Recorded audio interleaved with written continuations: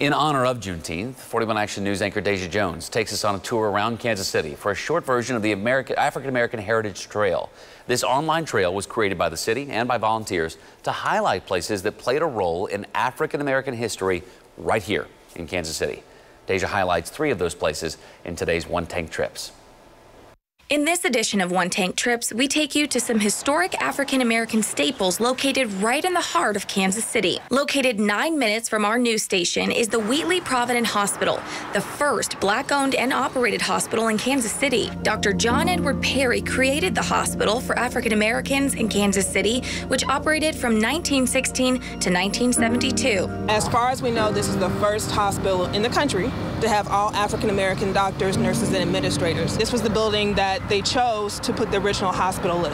Gotcha. And then in 1924, you can see the difference in the stone. This operated as a hospital until it became obsolete in 1972 just because of the structure itself. After closing, it was vacant for a while and then used as a haunted house. This building was set on fire twice in one day, but was saved from demolition in 2018 when the property was purchased with plans to redevelop.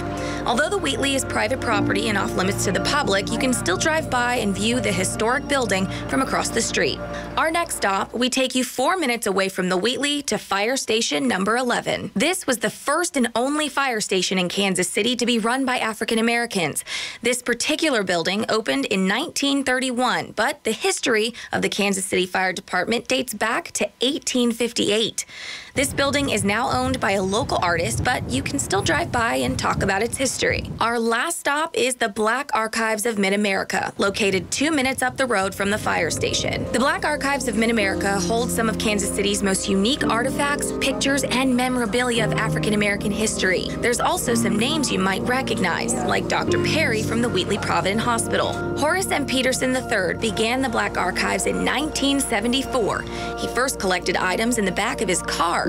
That collection has grown into what you see today. A new effort that is still in the works called The Story in Their Soil focuses on the lynching that occurred in Kansas City. And then on both sides of the walls, we'll have pedestals with uh, jars. And in those jars, we identify the places where people were lynched, where they were victims of racial murder and dig up some soil, the stories in the soil, put the soil in the jar, put the person's name on it. These are our collections.